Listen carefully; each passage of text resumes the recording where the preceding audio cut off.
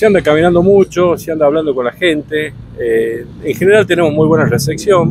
Eh, lo, que pasa es que, bueno, hay, hay, un, hay un malestar de la gente con la política y sobre todo este, con el gobierno importante y eso genera, digamos, un rechazo eh, para, casi todos, digamos, te tenés que sentar tranquilo a hablar este, con ellos y, y decirle, bueno, que mucha gente hay que insistirle que hay que ir a votar el que no va a votar en realidad lo que está haciendo es ayudar a quien gobierna en estos momentos, es mantener el status quo. Entonces, a la gente hay que pedirle que participe. El voto es la manera de generar una sana rebeldía y producir los cambios que hacen falta cuando uno no está de acuerdo con quienes están gobernando.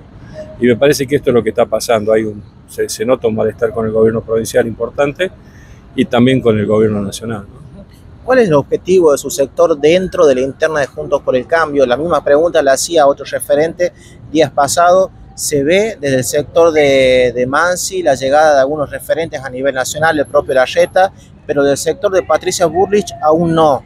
Eh, ¿Cuál es el objetivo, Néstor?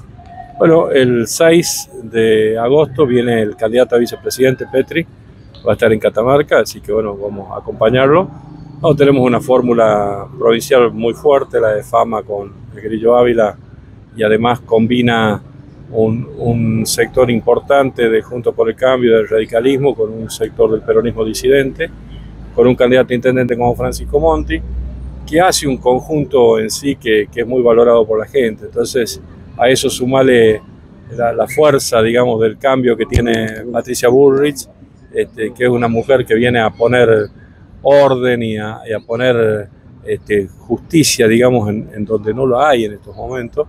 Yo creo que esa fortaleza de Patricia, más lo de Flavio y, lo del Grillo acá con Francisco, hace que, que, estemos confiados en que vamos a tener una muy buena elección paso, ¿no? Justamente haciendo hincapié y por último le consulto, ¿existe esta diferencia que se habla dentro del ámbito político y periodístico de Patricia Burlich sobre la red a nivel nacional, si podría pasar lo mismo aquí en Catamarca.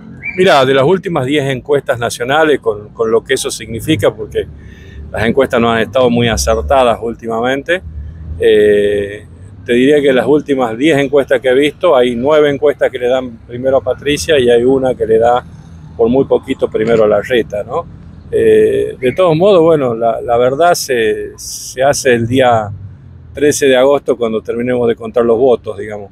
Yo creo que hay que trabajar, que nadie tiene ganada la elección, que hay que ponerle mucho sacrificio, mucho esfuerzo, este, y sobre todo hay que eh, conversar con la gente para, para darle esperanza, ¿no? porque la gente está muy decepcionada, entonces hay que decirle que hay posibilidades de cambiar el país, que se puede hacer, que por supuesto no es mágico, no, no es que se arregla de un día para el otro, porque realmente cuando uno se hace cargo del país recién se da cuenta cuál es el nivel de, de deterioro que pueden tener las cuentas públicas, ¿no?